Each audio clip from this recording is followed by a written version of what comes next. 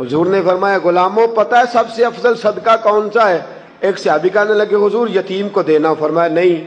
सबसे अफजल सदका कौन सा है? या रसूलल्लाह, मिस्कीन को देना। फरमाया, नहीं। सबसे अफजल सदका हुजूर, मुसाफिर को देना? फरमाया, नहीं। सबसे अफजल सदका, या मुजाहिदीन इस्लाम को देना? फरमाया, नहीं। हुजूर, फिर सबसे अफजल सदका क्या है? रसूल पाक ने फरमाया, तेरा रिश्तेदार हो और गरीब हो, हकदार हो। और अगले लफ्ज बड़े अजीब है। तेरा रिश्तेदार हो, गरीब हो और तुझसे नाराज़ हो। कैसी बात है?